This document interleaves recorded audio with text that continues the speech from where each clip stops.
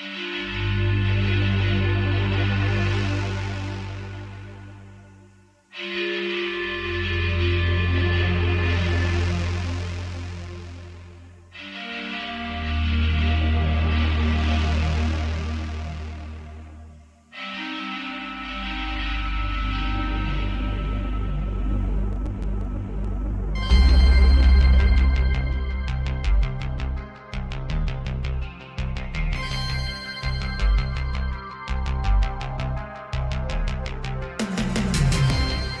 The decade is finally coming to a close, and with it comes hundreds upon thousands of decade lists, movies of the decade, songs of the decade, serial of the decade, and of course, games of the decade. A decade is 10 years, and if you didn't know, 10 years is a lot of time, meaning we've gotten a lot of games over this past decade. So not only is there a lot of just garbage to wade through, there's also a lot of really good games that I didn't get the pleasure of playing or something I might have missed out on. Please keep that in mind when I go through this list.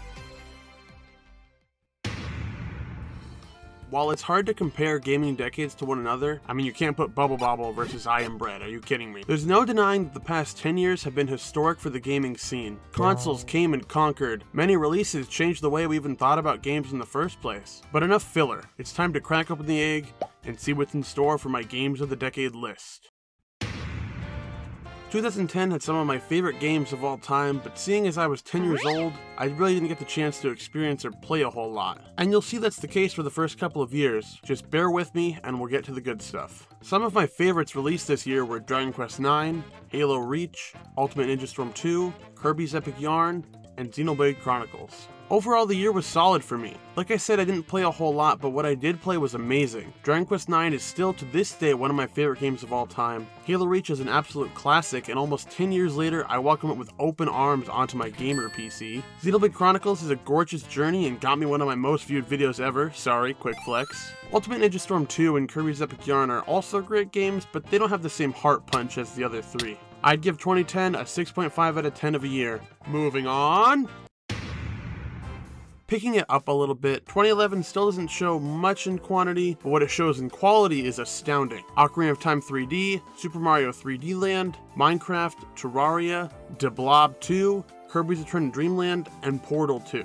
There was a weird pick on there, I know, so I'll go ahead and get Kirby's Return to Dreamland right out of the way. This is the best Kirby game period, and one of the most fun co-op experiences out there. If you've ever wanted to fight alongside your fellow puffballs and share a kiss or two, this is the game for you. 2011 was also the year of the 3DS release, and Ocarina of Time was the first time I ever got to play it for myself. I had dabbled in the N64 game before, but I never made it to Adult Link on my own. Ocarina of Time 3D actually looks so good and is the perfect way to play it. Super Mario 3D Land is top 5 Mario games for me, need I say more? And for Minecraft and Terraria, the two titans of my blocky childhood, I owe genuinely a lot to Minecraft, and while I won't spout a bunch of sappy crap right here, because I plan on making a sappy video about it sometime, and we've also got a lot of games to talk about, the game is wonderful, and Terraria isn't far behind it on my favorite games of all time list. Honestly, Terraria might be ahead of it, purely for its mountain of weapons and armor sets. I said Kirby's Return to Dreamland is one of the most fun co-op experiences out there, but Portal 2 is the co-op experience. I definitely recommend sitting down with a buddy, grabbing a couple dooskies, and just enjoying the game together.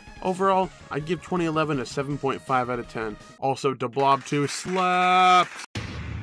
2012 is a bit of a sleeper year, I won't lie, but here we go anyways. Nintendo Land, Kid Icarus Uprising, The Walking Dead, New Super Mario Bros. U, New Super Mario Bros. 2, Chivalry and Medieval Warfare, Half Minute Hero, and Sticker Star. Yeah, so for this year I had to kinda lose the word favorite and find things that I played. Nintendo Land is a legitimately great game and a perfect fit to be released alongside the Wii U, which also came out this year, that's uh, pretty cool. New Super Mario Bros. U and New Super Mario Bros. 2 are both fine games, they're fun romps to the Mario world, but they don't exactly have anything great about them going on, and the only reason I put Chivalry on this list was because I remembered watching a lot of my favorite YouTubers sponsored content for the release of the game. Half Minute Hero actually smacks, but again, it's just here because I played it, and Sticker Star I think you know where this is going. Fortunately, this year is redeemed by Kid Icarus Uprising, a crazy well-written super fun 3DS game with kinda want controls, and The Walking Dead. Kid Icarus Uprising is still an awesome game and one of my most played titles. The online multiplayer is surprisingly really fun and I could still recommend this game 7 years later. The Walking Dead has been releasing in an episodic format for many years now, only just wrapping up its final season this past year and it's been a beautiful journey to go on. There were some bumps in the road and a couple parts that were just weird, but overall, I loved my time spent with Clementine and the legend Lee. Still though, 2012 gets a 4.5 out of 10, sorry.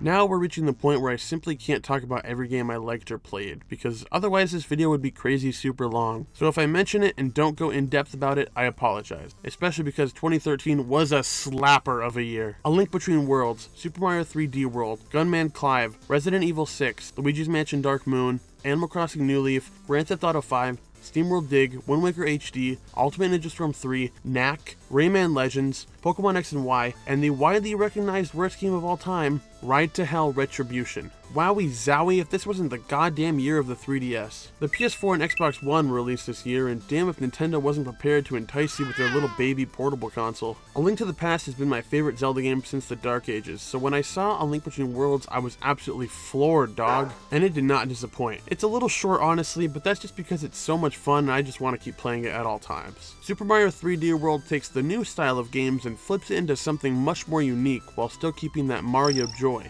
Dark Moon I thought was a solid sequel, until I reached this dumb ice boss and then I never played the game again. Animal Crossing New Leaf, holy oh my god, did I put so much time into this baby and I cannot wait for New Horizons. GTA 5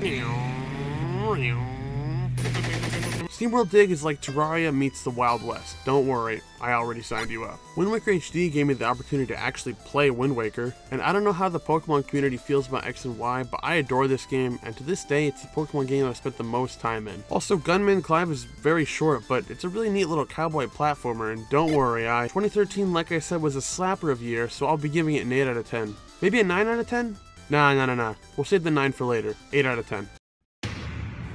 2014 is kinda whack. Some solid stuff, but only a few standout titles. Nidhogg, Hearthstone, Mario Kart 8, Half Minute Hero 2, Shovel Knight, Five Nights at Freddy's, Smash 3DS and Wii U, I Am Bread, Omega Ruby and Alpha Sapphire, The Binding of Isaac Rebirth, Hyrule Warriors, and Fantasy Life. Five Nights at Freddy's is insanely popular. I only ever played the first one, but I got pretty invested in the lore of it all. Shovel Knight was my 2014 Game of the Year winner, and rightfully so. It's a wonderful little blast from the past, and they've continued to update it with bigger and better DLC as time has gone on. The Binding of Isaac Rebirth is a poppin' little dungeon crawler where you play as this sack of baby.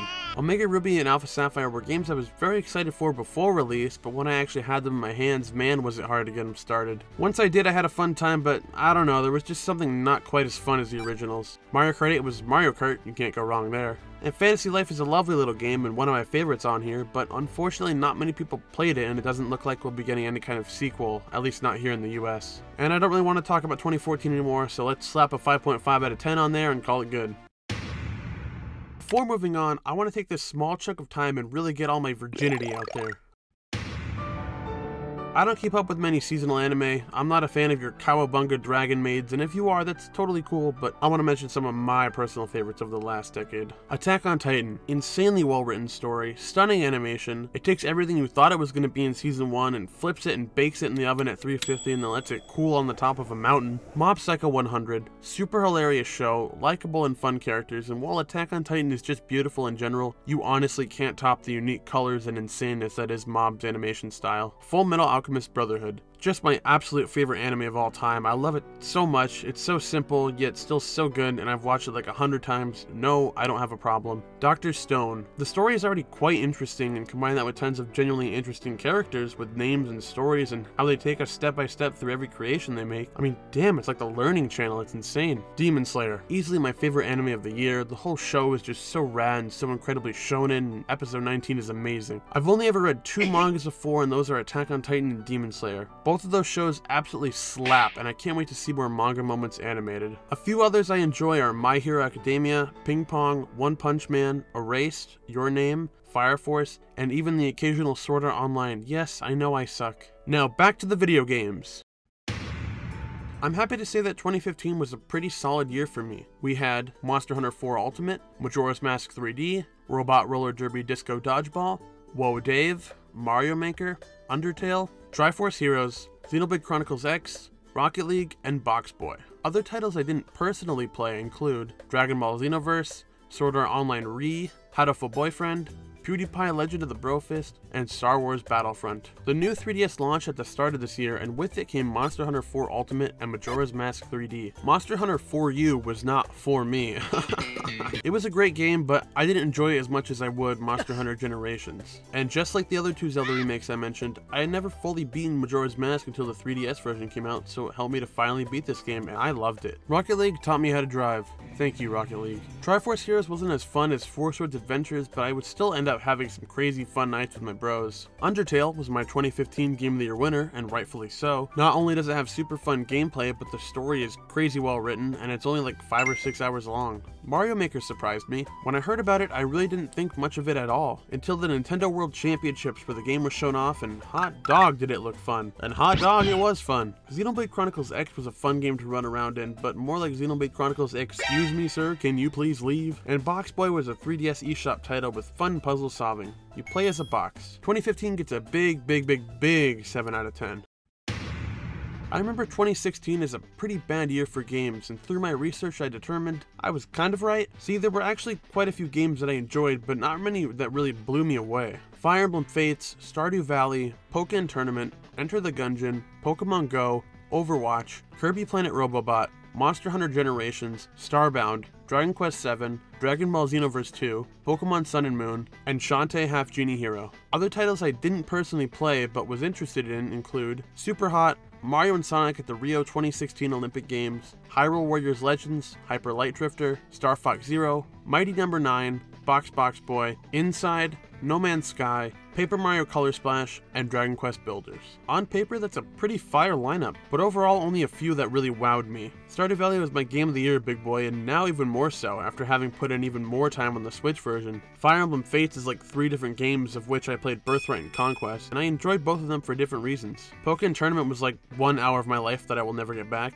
Pokemon Go is a mobile game, but damn was it fun to go out and play Pokemon with the bros and meet up with some strangers. Dragon Quest VII I ended up never beating because even though it's a good game, it just doesn't end. Starbound is like if you took Terraria, made it less fun, but give it a space aesthetic so like it kind of balances out, kinda. Overwatch is like the worst community. It's really hard to play a comp game without being called some gamer slur, but still I'm always able to enjoy my time with it. Xenoverse 2 was great, Pokemon Sun and Moon were decent, Shantae was pretty good, and Monster Hunter Generations was dope. They took almost everything I didn't like about 4U and just made it better. Kirby's Life as a Teenage Robot is a solid game all around, but it's a little bland at times. Overall, I'm giving the year a 7.2 out of 10 due to the sheer amount of good games, but taking away a 0.5 because the quality of the games is questionable, so 6.7.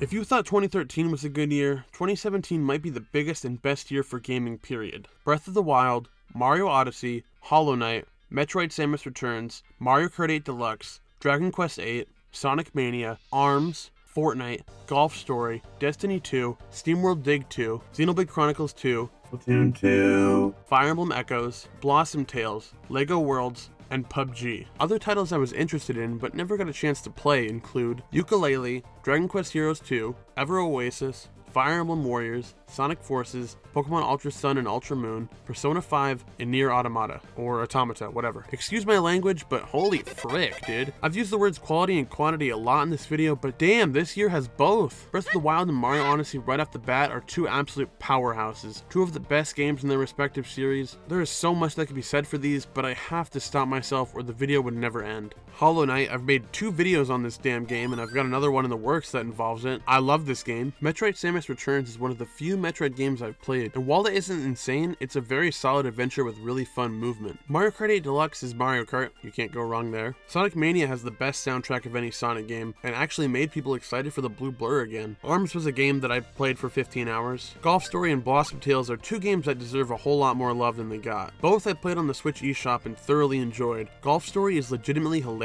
well written, and a blast to play. Blossom Tales is a lot like a bite-sized version of Link's Awakening or Minish Cap. It's just as fun as your standard Zelda adventure. This year was also when Battle Royales really started to pick up even more in terms of popularity. PUBG was my Battle Royale of choice as I didn't get into Fortnite until the very beginning of 2018, but I love hate both of these games. There's still a lot I could say about this year. Some of you might think this year was average, and that's totally okay, but I personally think this year was insane, and it would have been even more whack if I had gotten to play some of the other titles. 2017 gets a fat 9.5 out of 10.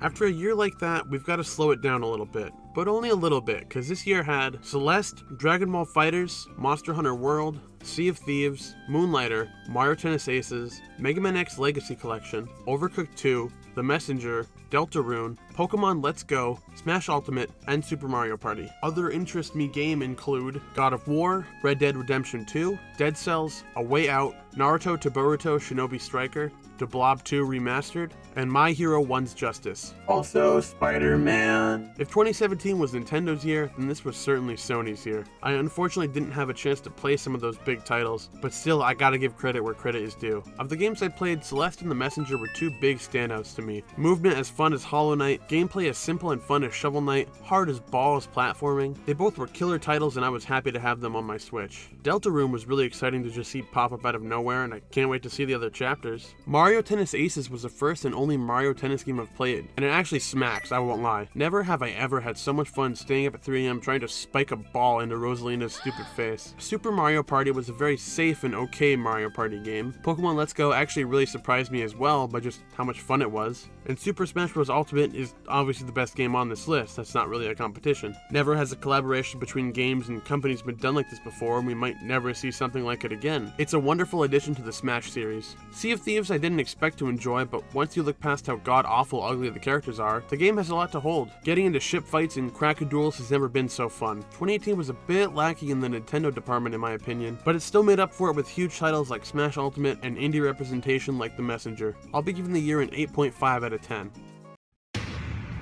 Well, we finally made it to the last year of the decade. Let's see what kind of games 2019 had in store for us. New Super Mario Bros. U Deluxe, Apex Legends, Dragon Marked for Death, Tetris 99, Fitness Boxing, Ring Fit Adventure, Yoshi's Crafted World, Super Mario Maker 2, Luigi's Mansion 3, Pokemon Sword and Shield, Dauntless, Cadence of Hyrule, Dragon Quest Builders 2, Link's Awakening, Dragon Quest XI S, and Killer Queen Black. Other games include Kingdom Hearts 3, Jump Force, Katana Zero, Mortal Kombat 11, Fire Emblem Three Houses, Star Wars Jedi Fallen Order, Death Stranding, Outer Worlds, and Sekiro Shadows Die Twice. Sekiro. I don't remember. Apex Legends was okay. I wasn't very good at it, but I still enjoyed playing it from time to time. Tetris 99 is certainly on my Switch right now. Fitness Boxing and Ring Fit Adventure ended up being genuinely fun fitness games, especially Ring Fit. The game can be pretty corny with the story, but damn, it gives you a really good workout if you really go for it. Super Mario Maker 2 was my most played Switch game of the year. I spent the first two days doing nothing but making levels. Unfortunately, Online with Friends wasn't added until months later, and at that point, the hype had died down significantly, and I haven't really gotten to play that many co-op online levels. Luigi's Mansion 3 I really, really want to put more time into. I've only played the first 5 or so hours of it and I really enjoy it, but I just haven't sat down to finish it yet. Pokemon's a similar story. I'm on the 5th gym, so I still got a little bit of a ways to go, but I've been having fun with it. Especially the raid bat- Whoa. Especially the raid battles. The raid battles give you this candy that can allow you to super buff up your Pokemon, like using a ton of rare candies at once. I would never use those on my Pokemon, but lesser gamers can have the option. Link's Awakening again actually gave me the chance to play through a Zelda game. While others didn't like the art style, I adored it, and I really hope they remake the Oracle games in this style. This year was pretty lame. We had some really great and solid titles like Super Mario Maker 2 and Luigi's Mansion 3, but no really huge releases. This year served a lot more as a buffer year because 2020 is already looking like it's going to be another 2017. Overall, I'm giving 2019 a 7.5 out of 10, so still pretty great. The last decade has been an amazing time. I've gotten to grow up and experience these games and make memories with some of my best friends in the world. We've lost some great people in the gaming community over the last couple years, and a lot has changed in the world since 2010. But still, we keep moving forward, and we get stronger with every step we take. I look forward to seeing the fun times, memories, and bonds we will create when we all step foot into 2020. And maybe you'll see another one of these videos from me in 2030. Thank you so much for watching, everybody. Have a fantastic 2020.